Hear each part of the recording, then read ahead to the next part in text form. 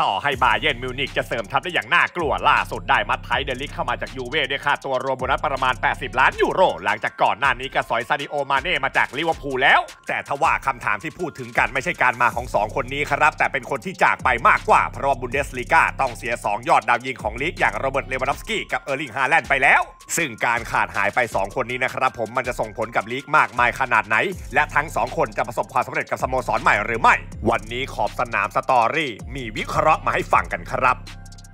เริ่มจากเลวานดอฟสกี้นะครับ ใครจะไปเชื่อแหละครับ ว่าดาวเตะทีมชาติโปแลนด์ค่าตัวแค่ 5 ล้านยูโรจากเลชพอซนันสมัยย้ายมาอยู่กับดอร์ทมุนด์ใหม่ๆ จะสร้างแรงสั่นสะเทือนให้กับวงการลูกหนังมากมายขนาดนี้ เพราะนี่สถาปนาตัวเองขึ้นมาเป็นหนึ่งในหัวหอกดีสุดของโลกลูกหนังไปแล้ว ในวันที่ดอร์ทมุนด์ร้างความสำเร็จมานมนานกันนี่แหละครับ ผมเป็นตัวแปรสำคัญที่ย้ายเข้ามาและก็สามารถพาทีมคว้าแชมป์บุนเดสลีกาเยอรมันได้ 2 สมัยทันทีในยุคเจอร์เก้นคล็อปป์โดยเฉพาะในปี 2011 ที่แกยิงไป 22 ประตูพาเสือเหลืองป้องกันแชมป์ลีกได้สำเร็จ ซึ่งตลอด 4 ปีกับสโมสรแห่งนี้ พี่เลวานได้จัดการสถาปนาตัวเองกลายเป็นยอดดาวยิงแห่งลีกเมืองเบียร์ไปแล้ว จนกระทั่งได้ย้ายมาอยู่กับบาเยิร์นแม้จะหักหาญน้ำใจแฟนบอลเสือเหลืองมากเหลือเกิน แต่การนั้นนะครับมันคือการก้าวกระโดดในอาชีพ เพราะว่าที่นี่เขาได้ต่อยอดกลายเป็นดาวยิงของโลกลูกหนังไปโดยปริยาย พี่เลวานได้ทำลายสถิติแกร์ดมุลเลอร์ตำนานดาวยิงทีมชาติเยอรมันด้วยการจารึกสถิติเป็นนักเตะที่ยิงประตูมากสุดบนเวทีบุนเดสลีกาเยอรมันต่อ1ปีที่ 41 ประตู จากการลงสนามแค่ 29 นัดเท่านั้นต้องเรียกว่าเป็นยอดมนุษย์เท่านั้นแหละครับถึงทำได้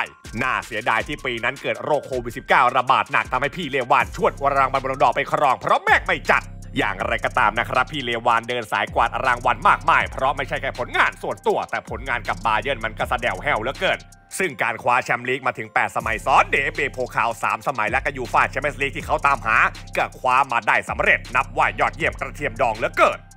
ส่วนเออร์ลิงฮาแลนด์ชื่อเสียงของเขานะครับถูกพูดถึงเพราะว่าเป็นลูกชายของอัลฟ์อิงเก้ฮาแลนด์อดีตแข้งเรือใบสีฟ้าแมนเชสเตอร์ซิตี้ที่โดนรอยคีนจัดหนักใส่มาแล้ว ซึ่งถ้ามันเป็นแบบนั้นนะครับก็คงเป็นดั่งดอกไม้ไฟที่แสงสว่างวูบวาบประเดี๋ยวประด๋าวพอทุกอย่างก็มอดดับไป แต่อย่างไรก็ตามนะครับฮาแลนด์แสดงให้เห็นว่าเขาพร้อมจะก้าวขึ้นมาเป็นดาวยิงตัวท็อปของยุโรปตั้งแต่สมัยอยู่กับเรดบูลซัลซ์บวร์ก ซึ่งเกมที่สร้างชื่อเขาเป็นที่จับตามองก็คงเป็นนัดเจอกับหงแดงในศึกยูฟาแชมเปี้ยนส์ลีกเมื่อปี 2019 ซึ่งเจ้าตัวยิงได้ไปหนึ่งประตู นับจากวันนั้นฮาแลนด์ก็ถูกจับตามองเป็นอย่างมากยักษ์ใหญ่ในยุโรปตามจีบตาเป็นมันทว่าสุดท้ายได้ย้ายไปอยู่กับดอร์ทมุนด์เพราะว่าสถานที่แห่งนี้นะครับพร้อมมอบโอกาสให้เขาได้ลงสนามและที่แน่ๆมันจะเป็นการต่อยอดให้กับเขาได้ก้าวหน้าขึ้นมากกว่านี้ แม้ว่าฮาแลนด์กับดอร์ทมุนด์จะได้แชมป์แค่หนึ่งรายการแต่ทว่าผลงานส่วนตัวของนักเตะรายนี้ มันสุดติ่งกระดิ่งแมวเหลือเกิน ตลอด 3 ปีที่ค้าแข้งในถิ่นซิกนัลอิดูนาพาร์ค ฮาแลนด์ยิงไปถึง 86 ประตูจากการลงเล่นเพียงแค่ 89 นัด แทบจะเฉลี่ย 1 นัดต่อ 1 ประตูด้วยซ้ำขนาดในศึกยูฟาแชมเปี้ยนส์ลีกเมื่อปี 2020 นะครับ ทางฮาแลนด์ก็เคยคว้ารางวัลดาวซัลโวมาแล้วในจำนวน 10 ประตู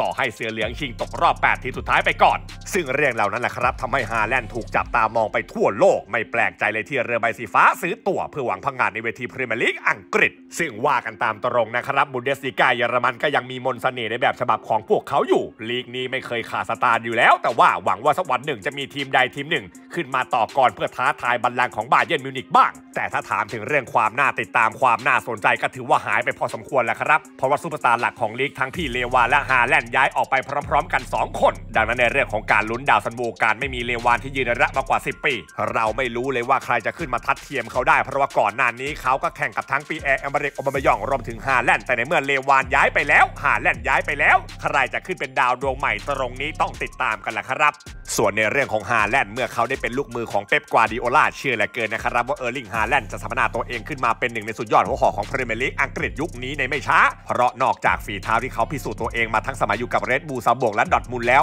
เขายังมีองค์ประกอบตัวท็อปแห่งยุโรปรายล้อมอยู่ข้างกาย คิดดูสิครับฟิลโฟเด้นริยาดมาห์เรซแบร์นาร์โดซิลวาตัวทีเด็ดมากสุดเควินเดอบรอยน์เจ้าพ่อแอสซิสต์ทีมชาติเบลเยียม ดังนั้นหากดูจากสภาพแวดล้อมกับสถิติที่เจ้าตัวซัดในศึกบุนเดสลีกาเยอรมันมามากมากกว่า 20 ประตู 2 ปีติด มีโอกาสเลยแหละครับ ที่เขาจะระเบิดฟอร์มได้แบบนี้ เช่นเดียวกันที่อังกฤษ ส่วนพี่เลวานไม่มีใครกังขาในความสามารถสำหรับผลงานของเขา เพราะว่าสิ่งที่เขาจารึกเอาไว้กับบาเยนจะถูกกล่าวขานไปอีกนานแสนนานแม้แต่เขาตายไปแล้วก็ตาม แต่ทว่าการย้ายทีมของพี่เลวานไปอยู่กับบาซ่าหนนี้นะครับต้องยอมรับกันตามตรงว่าพี่เลวานต้องไปเรียนรู้อะไรใหม่ๆ มากมาย ไม่ว่าจะเป็นสภาพแวดล้อมเพื่อนร่วมทีมภาษาสไตล์ใหม่ๆ มีซูเปอร์สตาร์หลายคนที่ย้ายทีมและฟอร์มไม่ได้อยู่เหมือนตอนทีมเก่าก็มี ซึ่งถ้าตรงนี้พี่เลวานปรับตัวได้เร็วก็ไม่มีอะไรน่าห่วงครับ เพราะว่ายี่ห้อเลวานด็อกซักกี้ ถ้าจุดติดเมื่อไหร่ก็รอใส่สกอร์เมื่อนั้น ถึงแม้บาซ่ายุคนี้จะเป็นดาวรุ่งส่วนใหญ่ แต่เป็นแข้งวัยกระเตาะที่เจนสนามมามากมายก็เชื่อว่าบาซ่าที่มีเลวานจะต้องดีกว่าเก่าเผลอๆไม่แน่เราอาจจะได้เห็นการแย่งดาวซัลโวกันระหว่างพี่เลวานชำนาญยิงกับคาริมเบนเซม่าดาวยิงจากเรอัลมาดริดและมารอดูกันนะครับว่าหัวหอกทีมชาติโปแลนด์จะสามารถพาเจ้าบุญทุ่ม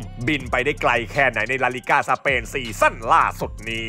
และนี่คือขอบสนาม STORY หากดูแล้วดีดีโปรดขยี้นิ้วไปที่ปุ่มไลค์ด้วยนะครับ